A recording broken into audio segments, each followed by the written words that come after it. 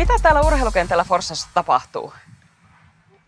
No täällä meillä on maanantaista perjantaihin semmoista kesäkerhoa. Kaksi ekaa tuntia on sitten 10-12 niin 6-8-vuotiailla.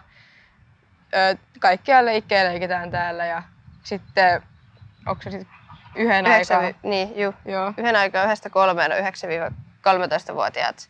joo vähän vanhempien sitten- ryhmä. Niin Niin, ja tehdään silleen, miten, miten ne itse haluaa vähän ja sitten jotain omaakin. Että Joo. Ketä tänne voisit tulla? kaikki, kaikki siltä ikäväliltä, kuka vaan. Joo. Ihan miten itse haluaa. Tarviiko tänne ilmoittautua Ei, ennakkoon? ihan. Ei. Voi tulla vapaasti vaan paikalle. Kyllä. Juu. Tarviiko olla joka päivä paikalla? Ei. Ei tarvi. Me Silloin, otetaan kun itse tuosta haluaa. sitten ö, tosiaan nimilistaan niin kuin ikä ja nimi ja sitten vanhemman puhelinnumero ma- mahdollisesti, niin sitten merkataan siihen aina vaan ne tulijat tällä. Mm. Mutta ihan vapaasti saa tulla, niin kuin, kunhan vaan tulee niin kuin viik- ö, arkipäivänä, ettei sitten viikonloppuna tule täällä ei ole yhtään ketään. Maksaako tämä jotain? Ei, tää Ei. maksa.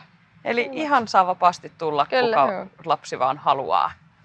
Eli mitä kaikkea sanotte, että leikitte ja pelailette, mitä kaikkea te teette täällä? No se on vähän, me välillä jakaudutaan joskus, kun ollaan tässä urheilukentällä, niin jotkut haluaa hypätä pituushyppyä ja sitten kun sitä mä pystyn sitten taas ohjaamaan, niin sitten me välillä yleisurheilua, välillä leikitään, välillä voidaan mennä Niin. koripalloon, nuo korit on vaan vähän korkeat niille pienemmälle ryhmälle.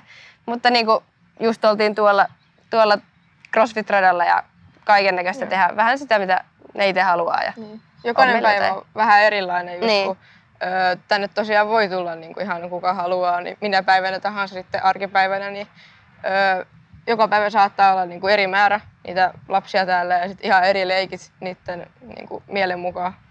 Minkä verran täällä nyt on käynyt lapsia teidän kanssa? jonkun kymmenisen on nyt tähän alkuun. Joo. Noin mole, molemmista ikäluokista silleen, että niitä vanhempiakin on sitten tullut ihan hyvin. Joo.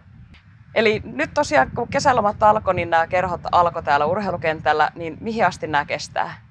Se on heinäkuun sinne alulle nelisen viikkoa kestää, eli kuukauden, kun nämä nyt seitsemäs kuudetta alkanut tämä kesäkerho.